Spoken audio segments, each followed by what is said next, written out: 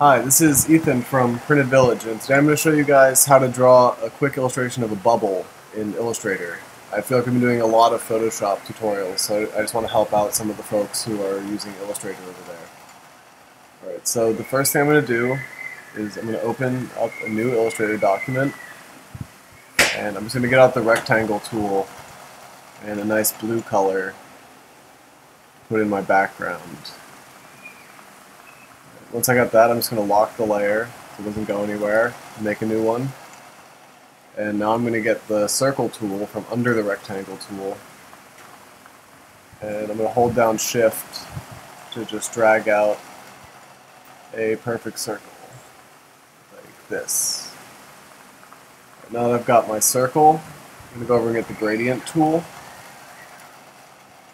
And for the type of gradient, I'm going to select radial and I'm just going to go ahead and use the fading sky default gradient because it's pretty close to what I'm looking for.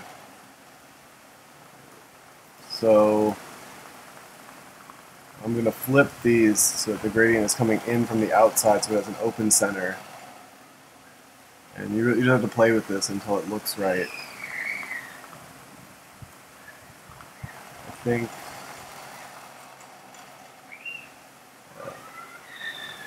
That looks pretty good to me. Okay, so now I'm going to copy this using Command C and then hit Command F to paste it directly on top of the other one. And now I'm just going to use a slightly different type of gradient.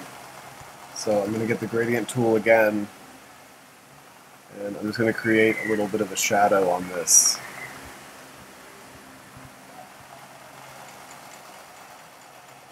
It's a little too far.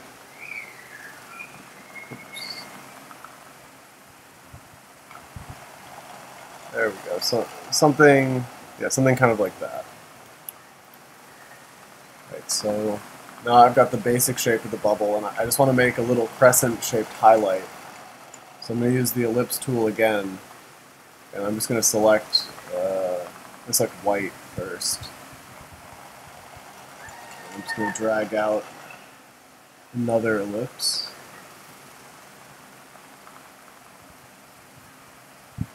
Copy that.